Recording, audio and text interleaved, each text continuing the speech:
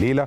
والنهاردة عندنا ثلاث محاور رئيسية في هذه الحلقة. المحور الأول هيكون حوار مع نجمنا نجم النادي الأهلي منتخب مصر السابق الكابتن أحمد بلال. لالقاء مزيد من الضوء على أهم الأمور اللي أشار لها وحددها الكابتن محمود الخطيب رئيس مجلس الإدارة بالأمس في المداخلة الهاتفية مع زميلي سيد عبد الحفيظ واللي تطرق فيها لأمور كثيرة جدا تتعلق بما يترتب من سياسات عمل على عدم الفوز بالبطولة الأفريقية أو على أوجه قصور أشار الكابتن الخطيب إلى أنها كانت موجودة بالفعل دون النظر إلى النتيجة إذا كنا في حالة الفوز أو في حالة عدم الفوز باللقب وهو ما حدث بالفعل وإعادة بناء الفريق في الفترة المقبلة وإعادة الهيكلة لبعض الأمور ومنها قطاع كرة القدم في النادي الأهلي. بعض الأمور الرئيسية أو بالغة الأهمية اللي تطرق لها الكابتن محمود الخطيب. ده هيكون محور حديثنا مع الكابتن أحمد بلال. الفقرة الثانية هتكون مع ضيفنا أيضا لاعب النادي الأهلي السابق ودوره أيضا في أكاديمية النادي الأهلي لكرة القدم الكابتن أحمد رضوان ويتحدث عن الكثير من الأمور المتعلقة بتجربته مع النادي الأهلي وأيضا برؤيته لدور الأكاديمية وسير العمل فيها. والفقرة الأخيرة من هذه الحلقة وأيضا فقرة متميزة اعتدنا على أن نتابعها مع زميلي العزيز الكابتن خالد العوضي ومتابعته للرياضات الأخرى بعيدا عن كرة القدم وهيستقبل فيها النهارده فريق ناشئات الكرة الطائرة بعد تتويجهم مؤخرا ببطولة المنطقة وهي الفقرة المتميزة لكل أخبار الرياضات الثانية بعيدا عن كرة القدم مع الزميل العزيز خالد العوضي. كابتن أحمد بلال نجم منتخب مصر والنادي الأهلي سابقا مساء الخير وسعداء بوجودك معانا النهارده. مساء الخير يا أبو حميد وأنا طبعا سعيد بوجودي معاك دايما. آه وبأشرف إن أنا موجود معاكم هنا في قناة النادي الأهلي. آه بداية كابتن بلال هنتكلم عن المحاور أو العناوين الرئيسية لمشاركة الكابتن الخطيب وحديثه الموجه للراي من خلال المداخلة الهاتفية اللي أجراها بالأمس مع زميلي العزيز سيد عبد الحفيظ. كابتن الخطيب قال إنه قلق على الرغم من نتيجة الذهاب إنه كان قلق بالفعل في الوقت اللي بين المباراتين وكان في بعض الفرحة داخليا عقب مواجهة الذهاب والفوز بنتيجة 3-1 لكن أيضا قال إنه شعر بإن الجميع الجميع عاشوا الفرحة بشكل مبالغ فيه قبل حدوثها وضرب مثال بإن الفريق سنة 82 لم يحتفل ايا كانت نتيجة المباراة الأولى إلا بعد مباراة أو مواجهة العودة في كوماسي. تعليقك إيه على الكلام؟ شوف الإيجابية رقم واحد بالنسبة لي نتكلم يمكن نسرد الموضوع ده بشكل بشكل إيجابي. يعني الإيجابية رقم واحد إنه يطلع رئيس النادي الأهلي وكابتن محمود الخطيب في هذا التوقيت يعني ويدي ويبعت رسالة لكل جمهور النادي الأهلي. دي بالنسبة لي هي الإيجابية رقم واحد في الموضوع كله. انك إنك شايف إن الجمهور عنده مستثار شايف الجمهور غضبان شايف الجمهور قلقان على فريق النادي الأهلي ويطلع آه رئيس النادي الأهلي بقامة الكابتن محمود الخطيب وكل طبعا الناس عارفة أحسن لعيب في إفريقيا عضو عضو مجلس إدارة نائب رئيس مجلس إدارة من الصندوق ثم رئيس النادي الأهلي بكل ما لديه من إمكانيات تمام؟ وخبرات ومعرفة عن كرة القدم ويطلع يحدث الناس عن المشاكل الموجودة داخل النادي الأهلي فده الإيجابية رقم واحد بالنسبة بالنسبة لي أنا شخصيا. يعني أنا شايف إن الكلام ده إدى مردود إيجابي عند الجمهور. يعني أنت عارف دايما ده كان أمر مطلوب طبعا جدا قبل مطلوب مطلوب في توقيته الحقيقة يعني عارف لما لما يجي الكلام ده بعد النهائي مباشرة والناس غضبانة وقلقانة ومتخوفة ومش عارفة خد بالك أنت بعد ال... بعد الخسائر أنت بتكتشف السلبيات. يعني ممكن في ممكن بعد كل المكسب حتى لو عندك سلبيات ما بتقدرش تكتشف أو ما بتحطش إيدك عليها. ممكن تحط إيدك عليها واحدة واحدة. لكن دايما بعد الخسائر بعد الهزيمة دايما بتكتشف كل السلبيات اللي موجودة عندك وبتبتدي تفنطها واحدة واحدة ورا واحدة. النهارده حديث كابتن الخطيب لجمهور النادي الأهلي إنه غضبان إنه قلقان على فريق الكورة إن هيحصل فيه تعديلات وتطو... وتطوير قال إعادة بناء. بالظبط في... في قطاع كرة القدم في النادي الأهلي. إنه شايف إن فريق كرة القدم وده الأهم إنه محتاج بناء وبناء قوي الفترة اللي جاية. طبيعي جدا في كل الأندية في العالم يا أبو حميد إنك بيحصل فيها عملية إحلال وت... إحلال وتجديد. عملية تطوير. للفرق للفرقة نفسها. انت في عندك أجيال بتستمر أربع خمس ست سنوات ثم بعد كده في فترة من الفترات تبقى الفترة الداون فيها اللي بتنزل فيها أو اللي مستواك بيقل. نظرا بقى إن أنت ما جددتش كتير نظرا إن اللعيبة مثلا كان سنها كلها متقارب.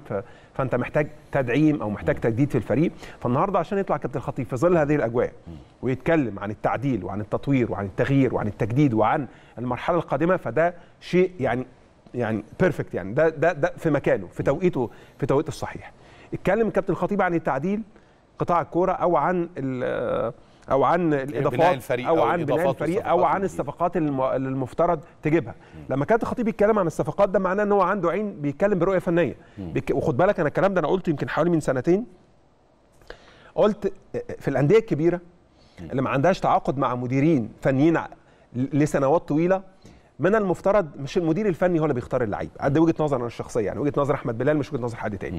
إن أنا بقول إيه؟ مين اللي بيختار من وجهة نظرك؟ مين مين من مين اللي المفروض مين يختار؟ اللي المفروض يختار للأندية الكبيرة؟ في حالة عدم التعاقد مع مدير فني لمدة سنوات طويلة. أنا النهارده لو عندي plan إن أنا مثلا عندي مثلا جوارديولا ولا عندي مورينيو وبتعاقد معاه ثلاث أربع سنوات فبالتالي هو هيبقى عنده استراتيجي بيحطها. ده, ده اللي بتعتبره ان هو في حالات بيبقى. بيقوم بمهمتين إنه بيدير. أمور الفريق الأول وبيخطط للكورة بيخطط للكره في, في على مستوى لأنه خلاص هو عنده فترة تعاقد طويلة.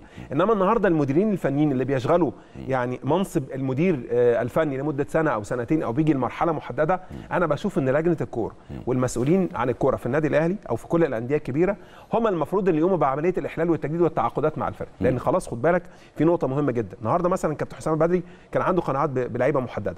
ماشي كابتن حسام بدري جه مستر كارترون عنده قناعات بلعيبة مختلفة تماما. مش الكلام ده بيأثر بالسلب على على الفريق. ثبات واستقرار فالنهارده الفريق لما. يبقى عندي مثلا لجنة كورة فيها كابتن خطيب مثلا فيها كابتن زيزو فيها كابتن علاء صادق فيها فيها يعني أي من الأسماء كوادر الموجودة كبيرة وكلهم وكلهم نجوم وكلهم superstars كانوا موجودين في النادي الأهلي يقدروا يحددوا إمكانيات واحتياجات النادي الأهلي كفريق لا. وأسماء تانية كمان يعني من أجيال أصغر سنا يعني وأصحاب خبرات زي نجم حسام غالي يعني مجموعة كبيرة في عندك لجنة فنية في عندك مدير تعاقدات لكن أنا بتكلم إنك أنت هم دول ال top اللي موجودين في هل على. بكلامك هل يعني إنك بتشوف إن المجموعة الكوادر اللي موجودة في لجنة الكرة في النادي الأهلي رؤيتها الفنية هتكون أقدر وأشمل من رؤية أي مدير فني هيتولى الفريق على اختيار الكوادر بكل تأكيد. لسنوات لأسباب محددة آه.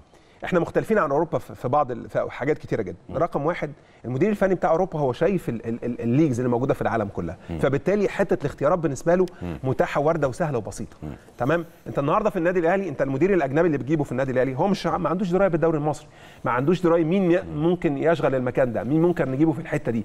ممكن مين ممكن شخصيته مش بس إمكانياته الفنية. أنت القرارات اللي بتتبني أو الاختيارات اللي بتتبني على متابعتك للدوري لسنوات عشان بالظبط. تختار اللعيب المناسب بالظبط عشان. تقدر تختار اللعيب. خد بالك أنت أنا كنادي أهلي النهارده عشان أتعاقد مع لعيب المفترض إن أنا بشوفه أو بحطه تحت الاختبار لمدة سنة. مش مثلا واحد لعب له ماتشين ثلاثة أربعة ونقدر نقول ده يا جماعة يستحق يلعب في النادي الأهلي. النادي الأهلي عنده شخصية. لازم لعيب النادي الأهلي يكون عنده كاريزما. لازم لعيب النادي الأهلي يكون عنده مقومات مختلفة مقومات للشخصية بتاعته الأول. دي أهم حاجة. الأداء الفني بتاعه الثبات الانفعالي حاجات كتيرة جدا لازم يتم الاختيار بناء عليها. يعني متفق مع اللي قاله الكابتن الخطيب هو من المحاور كمان اللي تطرق إليها إنه قال من يعمل في النادي الأهلي أو يرتدي قميص الفريق الأول في النادي الأهلي لابد أن يتمتع بشخصية البطل.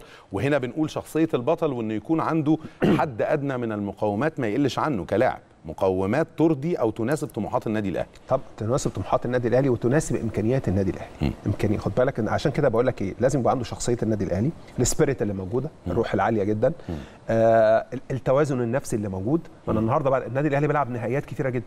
بيلعب ماتشات عصيبة جدا. فالنهاردة لو ما عنديش لعيب عنده توازن تمام توازن وما عندوش الحتة النفسية عنده عالية جدا وفيها ثبات ثبات عنده ثبات انفعالي بالإضافة طبعا للمهارات والفنيات والأخلاق والالتزام لأن هي دي شخصيتنا. لما نتكلم محمد شخصية النادي الأهلي الكلام اللي قاله كابتن الخطيب. يعني المسج اللي بيقولها كابتن الخطيب فيها يعني فيها حاجات فيها حاجات تحليلية كتيرة جدا. لما يقول أنا محتاج لعيبة تناسب النادي الأهلي ده معناه إن أنت رقم واحد بتتكلم عن لعيب عنده شخصية لعيب عنده إمكانيات لعيب عنده خلق. لعيب عنده التزام. هي دي دي شخصية النادي الأهلي. هو ده إن هو ده النادي الأهلي. هي دي العناوين اللي بنحطها عشان نقدر نتعاقد مع لعيب يمثل النادي الأهلي في الفترة اللي جاية. أصل ده في تناقض بين نقطتين موجودين الحديث عنهم في الشارع الكروي أو الشارع الأهلاوي تحديدا. فكرة الأهلي بمن حضر وإن اللاعب اللي بيجي بيدخل في دوران العجلة القوية للنادي الأهلي في كل البطولات اللي بيشارك فيها فبياخد التركيبة والشخصية والسمات. وفي رأي تاني بيقول لا لابد إن اللعيب ده يكون مؤهل من الأساس وعنده بالظبط. المقومات الفنية وإلا مهما اجتهد هو لو إمكانياته سقفها أقل من طموحات النادي الأهلي مش هيحقق المطلوب منه. كلامك مظبوط 100% أنت النهارده أنا النهارده مثلا هروح أجيب أي لعيب وبعدين أقول له هديله هدي آه هديله شخصية النادي الأهلي. ماشي. الالتزام والتدريب اديت له النص اديت له 50% طب وال 50% التانيين لو مش متوفره عنده بالظبط. خلاص ما هي equal الموضوع ماشي لازم يكون 50% 50% شخصية وإمكانيات. لو واحدة فيهم قلت خلاص ما ما أصبحش لعيب للنادي الأهلي. وفي أمثلة كتيرة جت النادي الأهلي وما وفقتش لل- لا يا إما فنيا كانت أقل من المستوى اللي بيلعب عليه النادي الأهلي يا إما شخصية.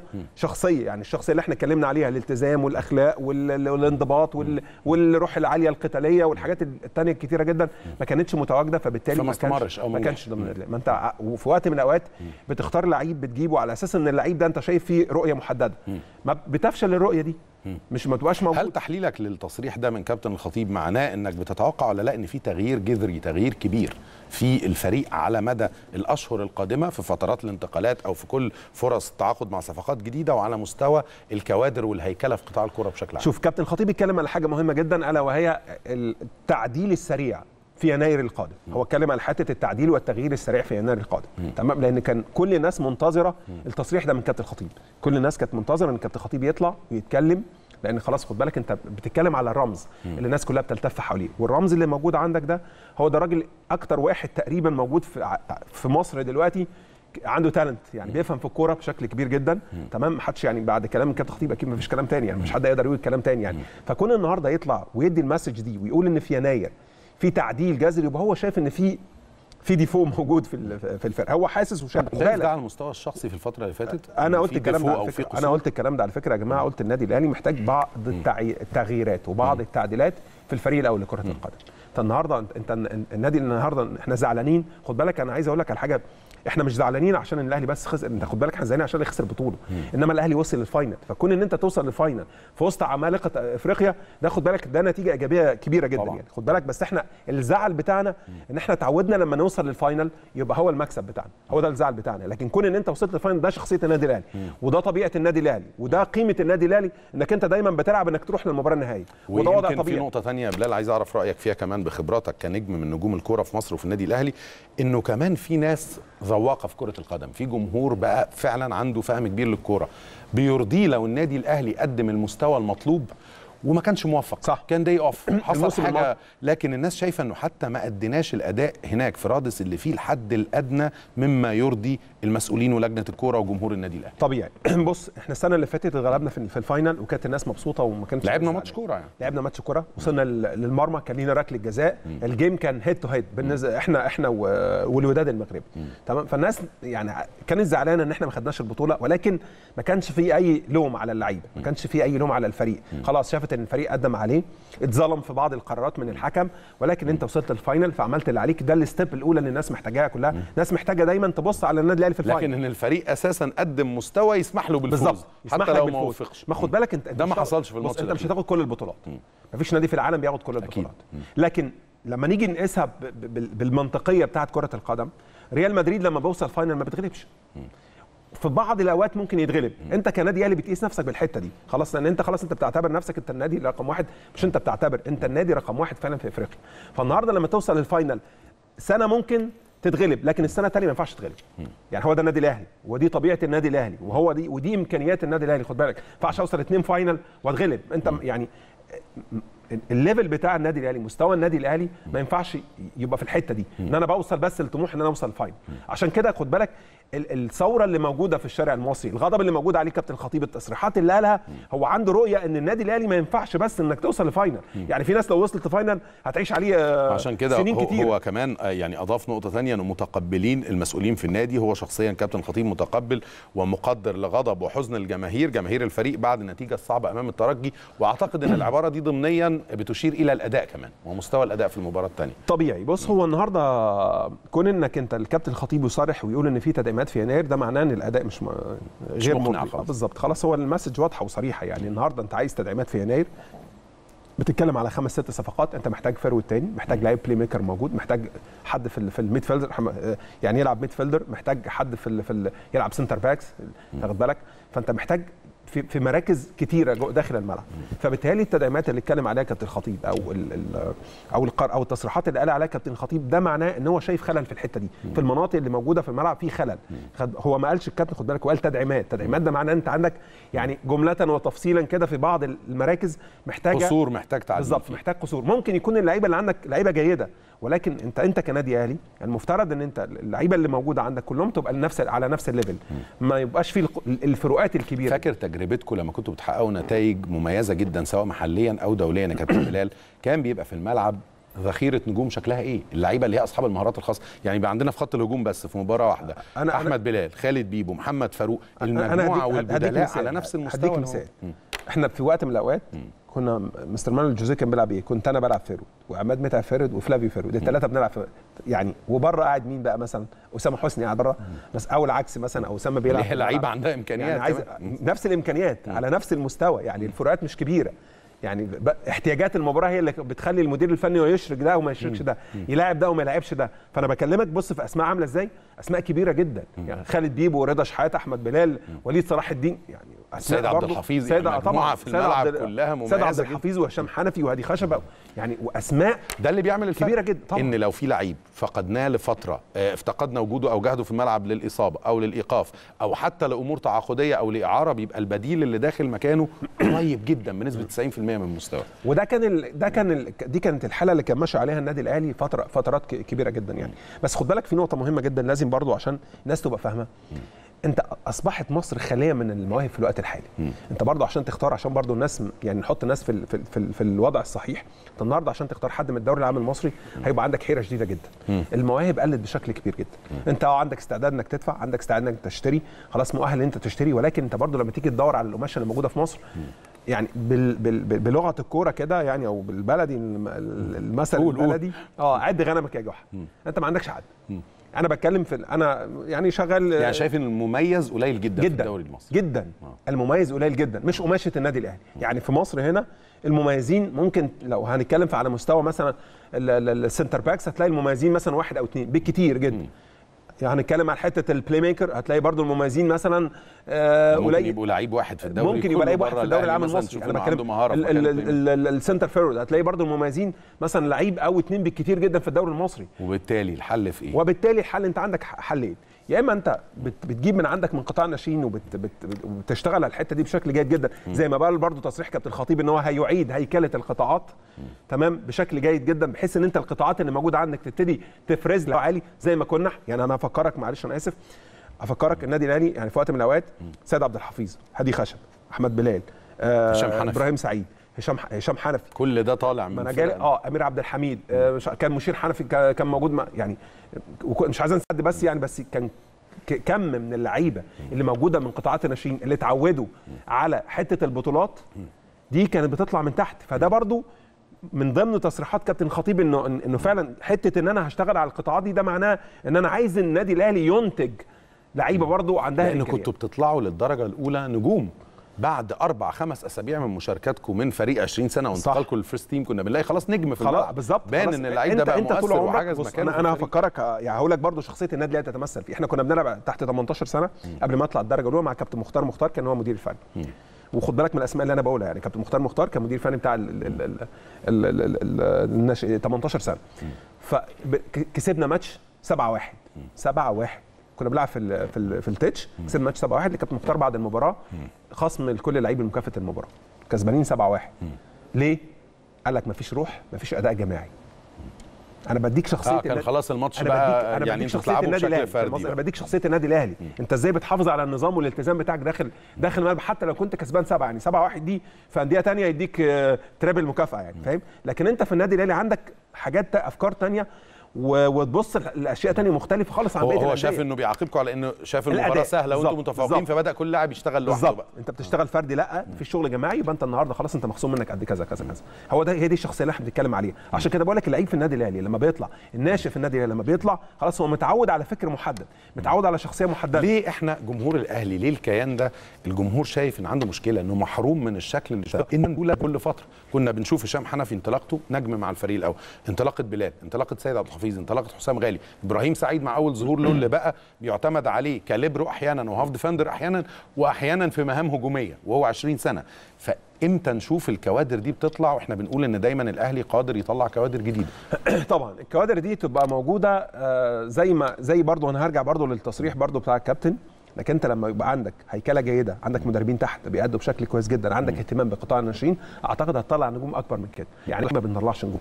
انت افرض شو- شوف لعيبة النادي الأهلي اللي موجودة من قطاعات الناشئين هتلاقي النهارده اللي موجود بس على الساحة ممكن يكون أحمد ياسر انور الوحيد اللي موجود دلوقتي وبياخد فرصة يعني في بعض لسه على فترات. بالظبط على فترات. لكن انت بقالك أربع سنين ما بتطلعش حد. بقالك أربع سنين ما بتستخدمش القطاع عندك. كون إن انت تشتري ده بس تعتمد فقط على سياسة الشراء دي أعتقد إن هي سياسة سلبية. لازم يبقى عندك يعني لازم يبقى الأمور منتصفة عندك. يبقى عندك من قطاع الناشئين لعيبة بتطلعها. يبقوا سوبر ستار وده بتشتغل عليهم بشكل كويس جدا وبتأهلهم تأهيل تأهيل نفسي بدني وبتشتغل على اللعيب اللي انت بتشتريه من بره. أي فرقة في العالم بتلعب على بطولات لازم عندها الحتتين دول. بطلع من تحت لعيب أو اتنين كل موسم وبشتري من بره ثلاث أربع لعيبه عشان يبقى عندي البالانس في الحته دي. انما كون ان أنا اشتري من بره بس في وقت من الاوقات خلاص طب ما انت قفلت القايمه باربع لعيبه. خلاص. نفترض ان انت ما عندكش لعيب مش قادر ما عندكش القدره والامكانيات انت تشتري. خلاص يبقى انت هتضطر انك تشتري ده غير. ان صناعه النجم في النادي الاهلي هيبقى لها عائد أكيد في اتجاه من اتنين. يا اما تسويقيا بنشوف ده النهارده اسعار لاعب عنده 20 سنة مميزة من اكبر الصفقات اللي تمت في تاريخ الدوري المصري. النادي. الاهلي احتاج فنيا انه يشتري اللاعب ده. صح. أو إن اللاعب ده يفيد النادي لسنوات وبعدين تتم عملية تسويق في يا كل الحالات. الأهلي كسبان. بص يا أبو حميد من ضمن برضو أعداد الهيكلة إن أنت يبقى عندك نظام تشتغل بيه في قطاعات الناشئين. بمعنى أنا ممكن يبقى عندي 10 لعيبة في قطاع الناشئين في قطاع الناشئين كلهم super stars بس أنا مش محتاج بعض اللعيبة.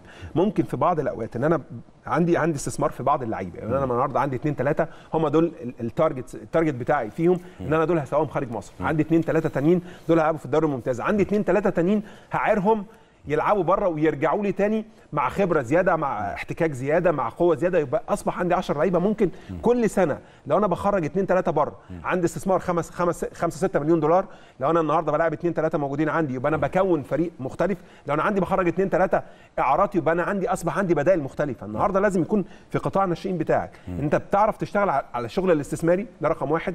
الشغل إن أنت تبني للفريق الأول رقم اثنين الشغل إن أنت تعمل يعني عدد من البدلاء الجيدين ما انت مش كل اللعيبه هتبقى أساسية بالنسبة لك. يعني أنا مش كل اللعيبه عندي في قطاع الناشئين هتطلع تبقى هيبقى لعيب أساسي هيبقى super star ممكن يبقى في واحد مكانه ما يقدرش يلعب عليه ودي طبيعة في كرة القدم. انت ممكن واحد تأهله إن أنا بعد سنتين عايز من مثلا من رمضان صبحي يجيب لي بعد سنتين 5 6 مليون دولار. وعايز من تريزيجيه 5 6 مليون دولار. وعايز من واحد أو اثنين تانيين إنه دول هم اللي يمثلوا النادي الأهلي الموسم اللي جاي. أنت لازم تشتغل بالحتة دي.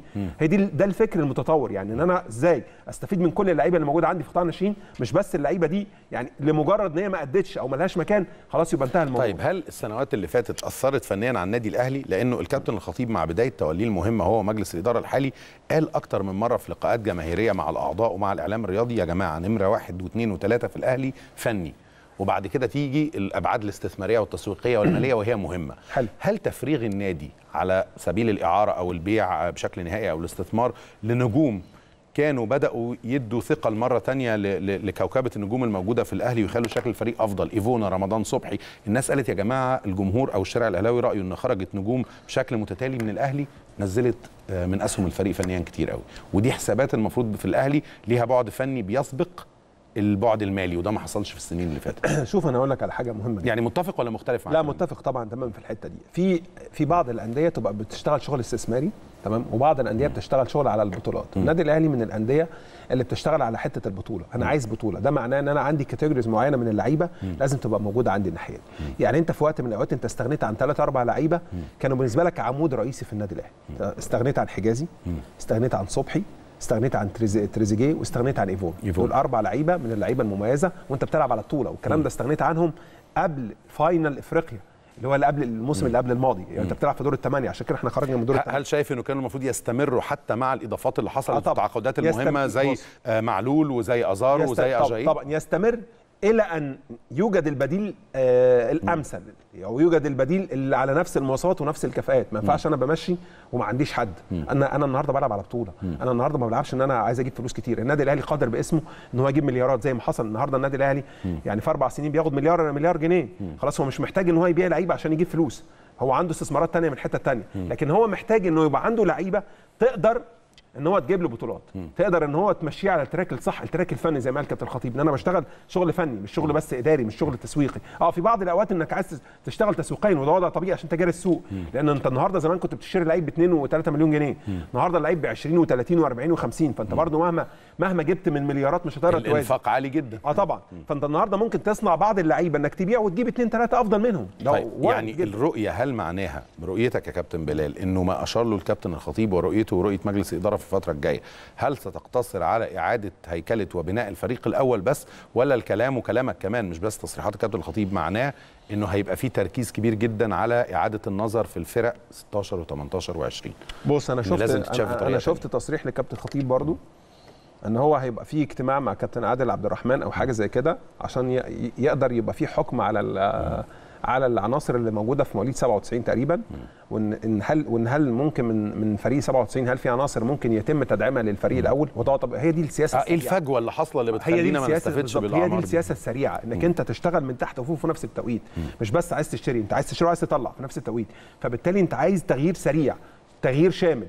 بتشتغل على فرقة 18 سنة بتشتغل على فرقة 20 سنة وبتشتغل في نفس التوقيت على اللعيبة اللي تقدر تجيبهم من بره. لأن زي ما اتفقنا يا محمود قلنا المواهب في مصر قليلة جدا. فأنت بالتالي عندك نقطتين مهمين جدا. إن أنت تشتري من بره مصر خالص أو ان انت تعتمد على قطاعات الناشئين اللي موجودين عندك اللي يخرجوا من عندك من فرقه 18 و 20 سنه فالنهارده كون الكابتن الخطيب يطلع تصريح إن هو عايز يشوف أو عايز يقعد مع كابتن عبد الرحمن أو أو كابتن فتحي مبروك ويشوف الأمور الفنية هتبقى ماشية إزاي بالنسبة ل 18 في سياسة تغيير حتى كمان في قطاع الناشئين. أو سياسة مش عايز أقول تغيير في سياسة تطوير في قطاع الناشئين في الاعتماد على قطاع الناشئين في الفترة اللي جاية. لأن خد بالك أنت عشان تواكب ال- العصر اللي إحنا موجودين فيه بكل الغلاء وكل ال ال ال الأرقام القياسية أو الارقام الأرقام الكبيرة اللي بتحصل المبالغ فيها في اللعيبة دي لازم تعتمد على حاجتين إنك تشيل من بره وفي نفس الوقت أنت بتجيب لعيبة من جوه. طيب بلال بصراحة ولا مختلف مع الآراء اللي بتقول يا جماعة ما تبالغوش في النقد لأن الفريق كان مفتقد 40% من قوته الضربه بغياب للإيقاف أو للإصابة. أزارو أحمد فتحي معلول اجاي